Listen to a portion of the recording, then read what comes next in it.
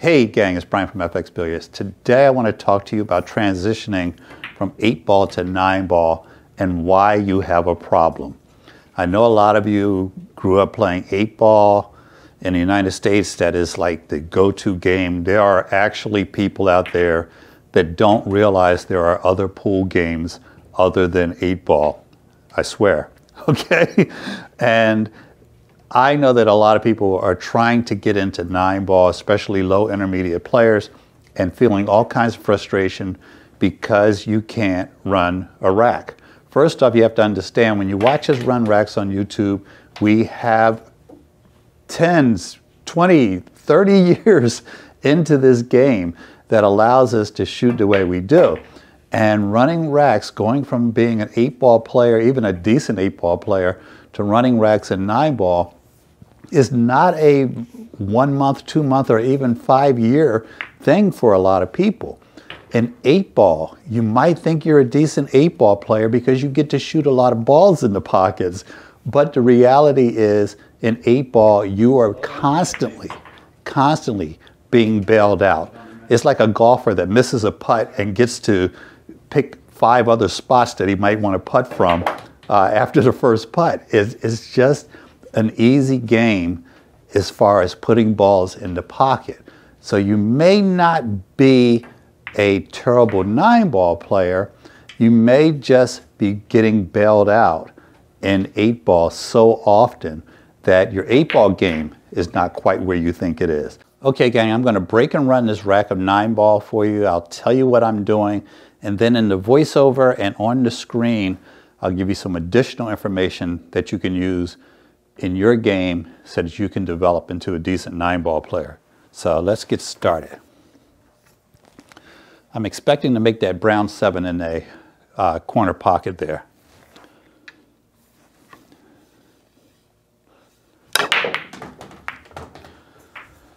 So we made our wing ball, we made our head ball, which was the one ball, of course. Uh, normally we would take ball in hand here because we're at the table to practice running racks, not to kick balls around. I'm not going to take ball in hand, even though this is not a layup in the side, but I'm pretty sure I can run out from here, so you guys will pick up some tips. So I'm going to just roll this over, play the two in the side. We get on the three.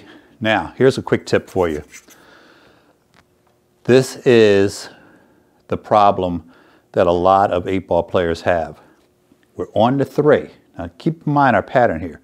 We played the two, we're on the three. Now we're coming back down here for the four. We're going back up there with the five. We're coming back down here with the six.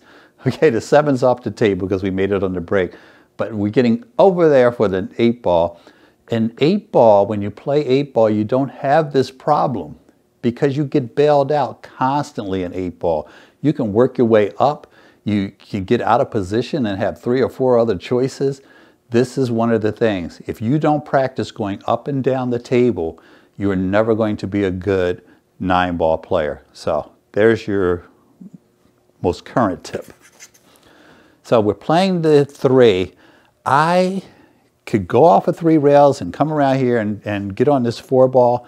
It would not be wise because I'm just sending the cue ball on a very long trip that it doesn't have to go on with a chance of colliding with that eight ball and ending my run. So I'm just going to tap this in, take the long shot that I'm going to be given, and go from there.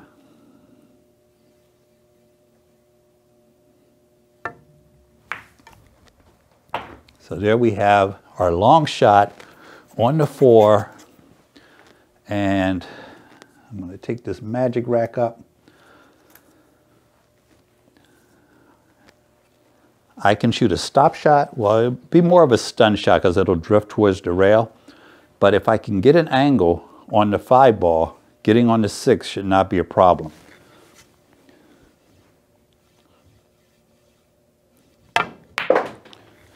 So we have a very slight angle. But you know what? I don't mind because I'm going to give myself another long shot. This is another, here's your second tip you're going to have more long shots in nine ball than you have in eight ball. Again, Eight ball, you get bailed out. You got little shots all over the table to choose from. I have to take this all the way down table, and then I'm gonna have to come back all the way down here for the six ball. The only reason I can't stun this or draw it back and give myself a real easy shot is I'm shooting over this six. So I could do it. Is it the best choice? Probably not, but you know what? It's not gonna cost us anything. Let's see what the shot looks like.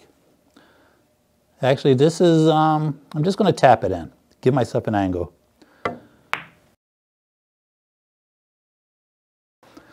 And now I have a nice angle to get on the eight. The eight to the nine is automatic. So I, I don't mind getting a little straight on this eight ball here. I just don't want to be uh, too much against the rail. So I'm just going to get close to it.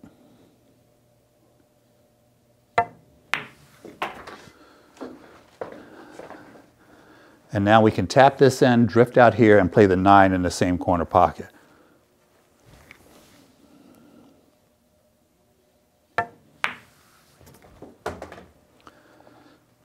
And we are out.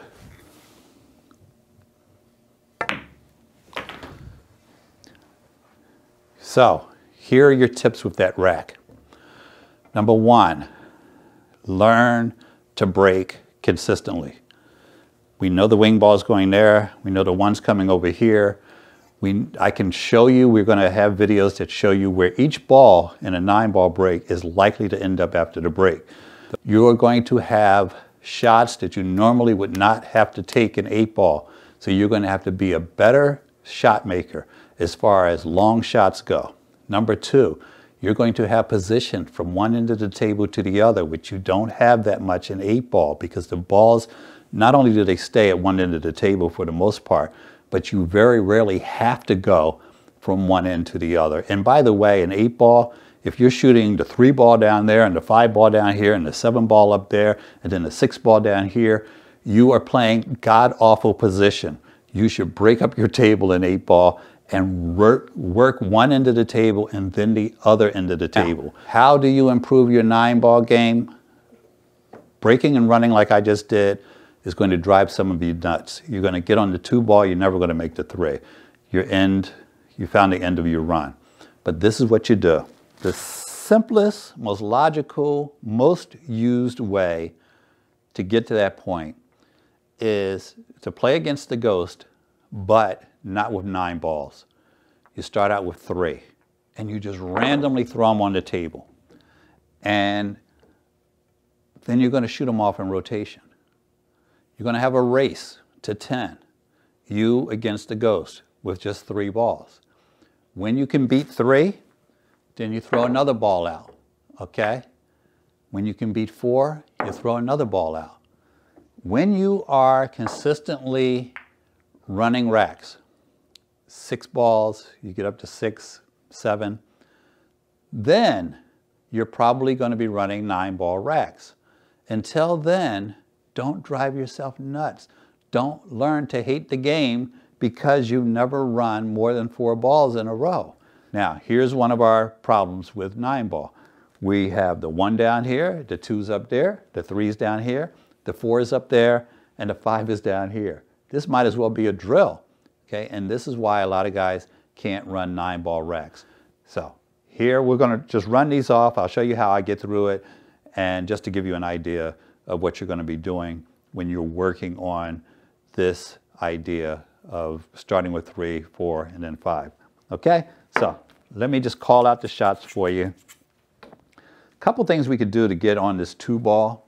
Um, a lot of guys would do something that involves this side of the table because that's where they see the two. That's a bad idea because we may end up behind one of these balls. It's, it's surprising how guys have such a little, a small area where they could screw up, and they managed to find that spot. it's just amazing. All right, this shot is going to be a little exotic for some of you, but uh, it puts into play how difficult it is sometimes to go from one end of the table to the other. So this is going to be low left, so I can come off of that rail, get down here on this three here, which um, should make it relatively easy for me to get on the four. The five is makeable for, from so many places on the table. I'm not even concerned about it at this point. but I did think that far in advance. So this is low left, low left draw shot. So we got nice position on this three ball. I'm just going to draw this back to give myself a really easy shot on the four, but still just a slight angle. We'll stun this. We'll be pretty close to the rail, but this five, like I said earlier, uh, is simple. So this is what you're going to do, guys. You're going to do it as many times as it takes you to win 10 or lose 10. Start with three balls, then four, then five. Work your way up. Then one day you'll be running racks. And Brian taught you how to do it. All right? Hit me in the comments. Subscribe. Hit that little notification bell, please. Hit the notification bell so you know when we're uploading new videos. We are going to be hammering them out for you guys this year. And I've got a lot already in the can. I don't want you to miss those.